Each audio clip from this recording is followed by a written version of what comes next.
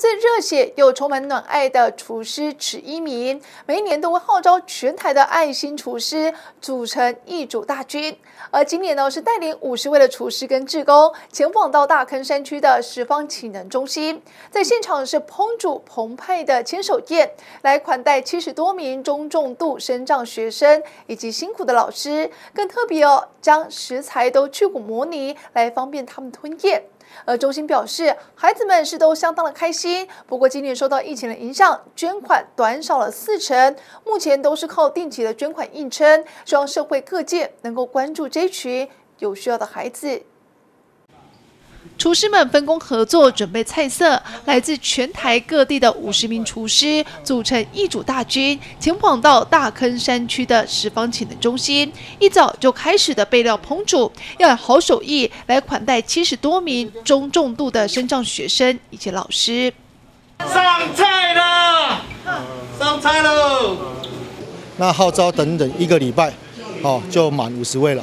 那我心里讲说，大概三十位就好了，因为这够了，因为这现场只有十几桌而已，哦，不像以往去年有二三十桌，对。那但是林林总总报名大概来了五十位，从最远的牡丹湾 V 啦，哦，到高雄国宾汉平酒店，哦，台中清新，参加已经第第三年了，哦，因为这很有意义，做爱心又有公益，当然这我们大家都盛共襄盛举，哦，参加这个。活动食材的杂支费用十万块，是由台中的一间餐饮集团赞助。一组大军是出力烹煮成十道美味佳肴，菜色选择少油少盐，更结合当地的食材，像是有大坑的竹笋、地瓜等，并且还将食材贴心的去骨模拟，来方便他们吞咽。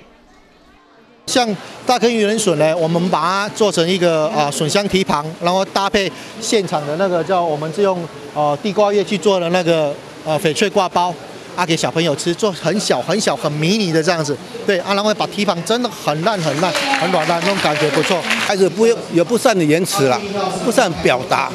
但是有时候他们用这种内心的喜悦，他他有内心表期待，说我今天有今天的到来。这是我们可以看得到的，各界的善款在那个经济活活动力减少，当然我们就一定会帮助我们的机会就减少。所以说我们这段时间硬撑的，希望能够疫情赶紧过去。全台湾的中破塞来到这里为他们煮大餐，师生们都很期待，也很兴奋，因此也精彩的表演，向厨师叔叔们来表达谢意。疫情的影响，社服单位的捐款短少，一组大军的这一顿牵手宴，带给师生们力量，也希望外界能够给予关注以及支持，来助十方走过困境，继续服务不退场。九点电话台中采访到。